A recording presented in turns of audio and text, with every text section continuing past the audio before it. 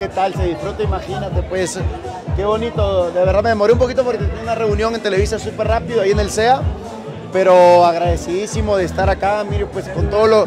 Mire con la gente que estoy rodeado, la verdad que, que vuelvo a decir, eh, son etapas, son sueños que, que voy cumpliendo y estoy súper alegre de eso.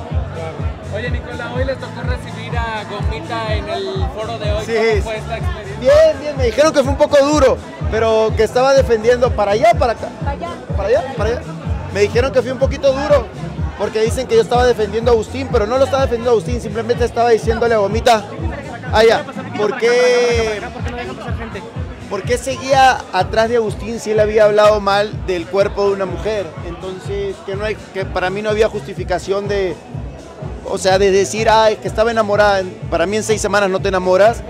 Y creo que sí está mal que tú eh, digas, eh, justifiques, digas cuando sales de la casa. A ver, a mí me pareció que, que Agustín se refirió mal al cuerpo de ella por las estrías, pero entonces se lo hubieras dicho y lo hubieras dicho y te hubieras alejado. Entonces a eso, de repente la euforia me ganó en ese momento. Yo con Gomita todo bien, hablé con ella después, con su mamá, hablamos mucho, pero ese era mi tema, ¿no? O sea, de que hay que ser consecuente con las cosas que uno dice, no simplemente salir y excusarse, sino para mí es mucho más bonito decir, oye, ¿sabes qué? Disculpa si no lo debía hacer, porque al final nadie tiene por qué estar hablando de los cuerpos de las demás mujeres. Y al final, eh, pues eso era lo que tenía que quedar claro, ¿no? Tú con ella, porque sí, en redes decían que tú estabas defendiendo a Agustín por todas las No, no, no, yo no estaba defendiendo a Agustín, porque no puedo defender que alguien hable del cuerpo de una mujer o que se refiera mal del cuerpo de una mujer, que hable. Entonces, eh, yo lo que decía era que, que no te salgas escudándote en, ay, no, es que estuve enamorada, esto no. Cuando algo malo pasa, uno tiene que decir, ¿sabes qué? Esto no se hace y listo. Entonces, creo que era mejor no escudarse, simplemente decirle las cosas en la cara. Creo que no fue lo que sucedió. Se lo dije, se lo expliqué en ese momento, pero no, yo no puedo defender lo que es indefendible. Es mi amigo, lo quiero, pero siempre he dicho que no lo voy a, no lo voy a hacer si él está cometiendo errores. Antes Oye, pero había tú com- vivías con él, en ningún momento él hizo un comentario así de alguna manera. Digo, yo no voy a contar ni ventilar las cosas que, que habla o hablamos con Agustín. A veces hay comentarios que tienes entre amigos, este, pero son comentarios que tienes en privado, como los puede tener cualquier persona sobre mí o algo. Hay, que, hay modos, al final estamos en una plataforma muy grande que la ve mucha gente, entonces ya hacerlo en televisión abierta, eh, un programa que tiene un rating histórico, porque es la verdad, uno tiene que también decirlo, este, creo que uno tiene que guardar los modos. Si creo que se está equivocando, uno de repente con su familia, con amigos, tienes comentarios que a veces pueden ser desatinados, pero lo dices dentro de tu familia, que no va a salir, dentro de tu núcleo. Hay otras veces que uno tiene que guardar la compostura y creo que sí, sí estuvo mal. ¿Cómo recibió Oye, pero- los comentarios? Bien, ella está recibiéndolo bien. Yo la vi tranquila, la verdad la he visto súper tranquila.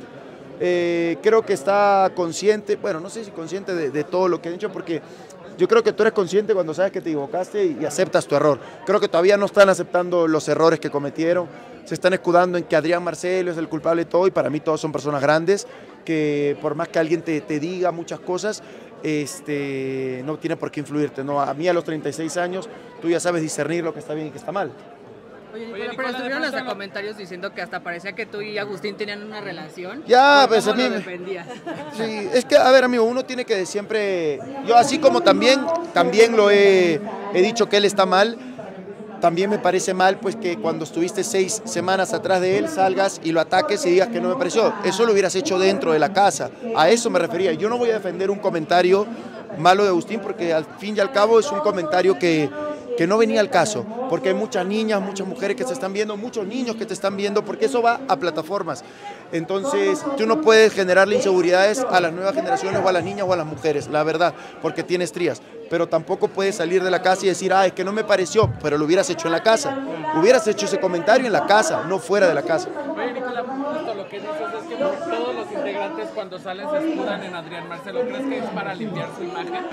Yo creo que es como un medio de autoprotección, ¿no? Pero yo creo que uno ya está grande como para, para asumir, co- este, asumir sus errores, no las consecuencias.